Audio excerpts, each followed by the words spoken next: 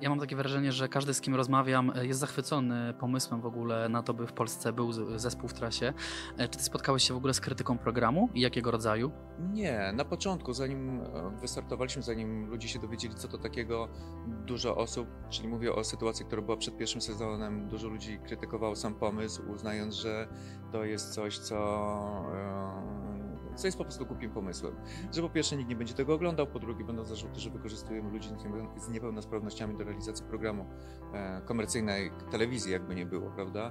E, Potem to bardzo szybko wygasło. To znaczy od, od dnia premiery właściwie krytyka jest marginalnym czymś. To jest jakiś promil, nie ma powodu się w ogóle w mojej ocenie tym przejmować. To są jakieś pojedyncze sytuacje. Ja zapytałem, bo mimo moich i moich bliskich e, pozytywnych opinii, to jednak w tym promilu e, znalazłem chyba ten promil po prostu w internecie. Tam najczęściej się przewijał taki wątek, że mm, tym kilku widzom, e, których widziałem komentarze, nie podoba, nie podoba się to, że w programie przedstawieni są ludzie z zespołem Downa, którzy tak świetnie radzą sobie w życiu i być może jest to jakaś wyidealizowana bańka, bo nie wszyscy e, z, z, z tym schorzeniem tak mają.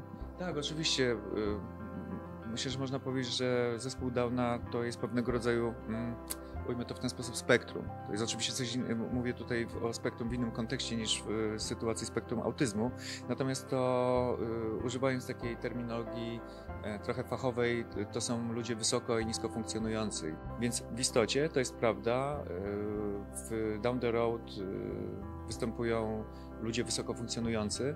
Zdecydowaliśmy się na to z pełną świadomością z tego powodu, że, mm, że ci ludzie są w stanie opowiedzieć o tym, jak widzą świat, jak widzą swoją rolę w świecie, jak widzą innych ludzi e, i co chcieliby zmienić. To znaczy ta ich sprawność intelektualna jest tutaj bardzo kluczowa, żeby oni byli w stanie skomunikować się z widzem. E, Wiem, że jest to wybór, który w jakiś sposób e, ogranicza mm, ogląd całości sytuacji, natomiast no, musieliśmy dokonać takiego wyboru, żeby ten wybór mm, wpłynął na komunikatywność tego cyklu. Wielu rzeczy, których nie widać w programie z pewnych względów uzupełniasz ty jako lektor, co też jest e, wyjątkową zaletą e, tego projektu.